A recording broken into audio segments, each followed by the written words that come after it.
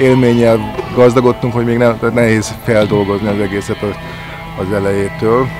Szerinted mennyi idő kell erre a parkra, hogy bejárjátok? Hát mi nyitás óta vagyunk itt, és délután négy van, és még mindig nem végeztünk. Tehát szerintem két nap biztos, hogy elmenne, hogyha mindent alaposan megnéznénk. Eddig tetszett a, a legjobban a parkban?